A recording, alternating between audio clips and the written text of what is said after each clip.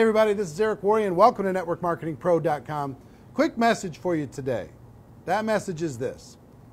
If you are involved in this profession, if you are involved in network marketing, your entire, your entire universe should know it.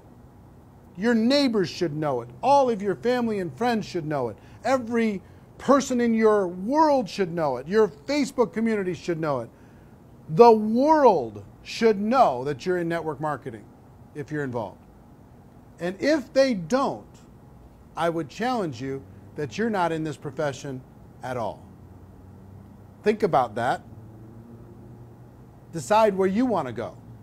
Decide how bold you're willing to be. Decide how strong and how powerful your posture really should be in order to be able to create the future that you deserve and take action.